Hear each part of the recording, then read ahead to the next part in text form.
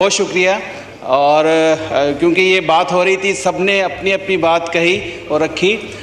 एक तो मैं जिस मेंबर ने ये पेश किया है उनको इस हवाले से मुबारकबाद दूँगा कि हम सब जी मेरे फाजिल दोस्त ने जो अच्छा मेरे फाजिल दोस्त मोहतरम कासिम खान नून ने जो ये आ, कानून पेश किया है ये इंतहाई ज़रूरी था।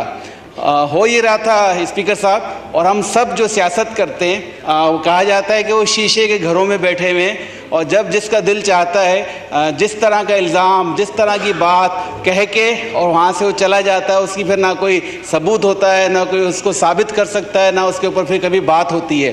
लेकिन जिस पे इल्ज़ाम लगाया जा रहा होता है आप अंदाज़ा करें कि उसकी एक फैमिली होती है उसका एक ख़ानदान होता है उसके बच्चे होते हैं और जब वो ये इल्ज़ाम सुनते हैं कि हमारे बड़े पर ऐसे इल्ज़ाम लगाए जा रहे हैं, उसके हल्के के लोग होते हैं तो उनके दिल की हालत क्या होगी?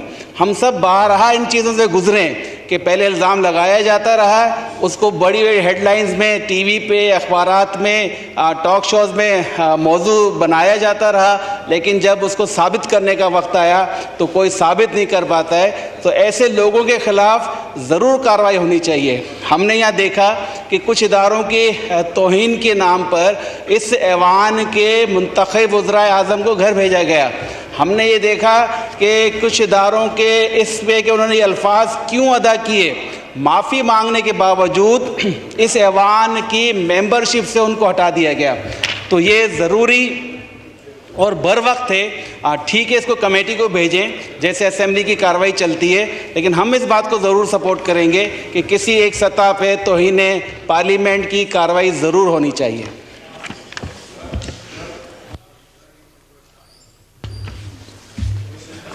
ये कौन सा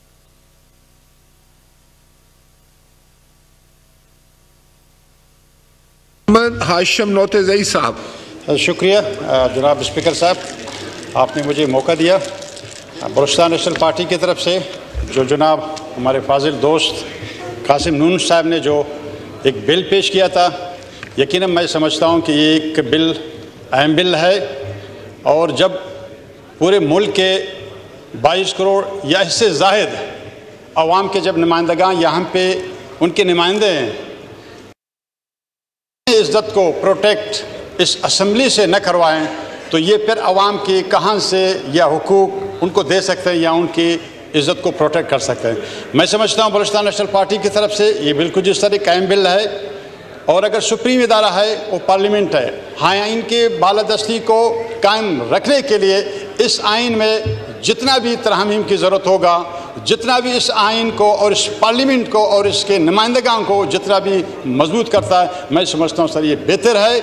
इससे कोई मुबर्रा नहीं है। गो के अगर कोई हमसे पूछा जाएगा कि हमारा बेजती हुआ है, जनाब आइन बनाने वाले हम हैं, हमने ये आइन बनाया है, हमारे बुज़ुर्गों ने ये आइन बनाना है, बनाया है, हम आइन को किसी के खिलाफ इस्तेमाल करने नहीं होने देंगे।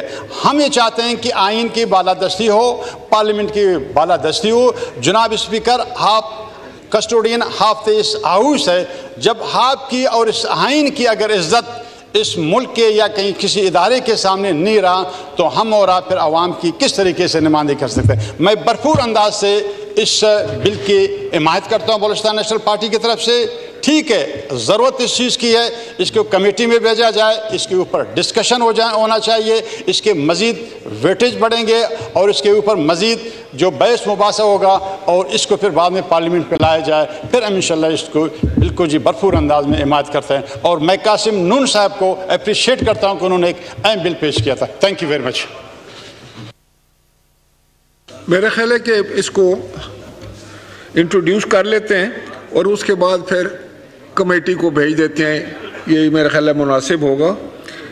तो now I put the motion to the house the question is जी, जनाब मजारी साहब। जी, रियाज महमूद मजारी साहब का माइक खोलें।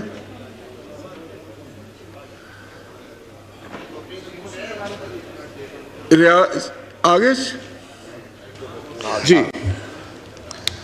स्पीकर साहब, मैं भी इसी बिल के ऊपर बात करना चाहता था। काफ़ी दफ़ा यहाँ